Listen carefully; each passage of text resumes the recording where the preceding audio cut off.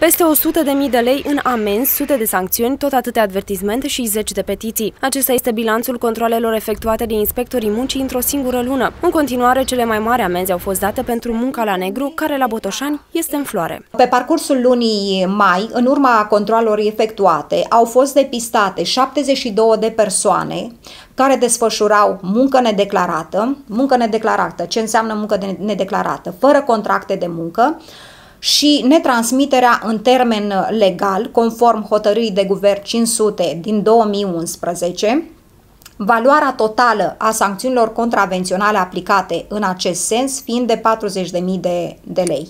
Nici la capitolul securității și sănătății în muncă angajatorii din județ nu stau bine. În construcții, confecții, textile sau pielărie, inspectorii au descoperit că nu erau respectate nici măcar cerințele minime. Pe acest compartiment au fost efectuate controle la 65 de agenții economici și au fost dispuse 221 de măsuri.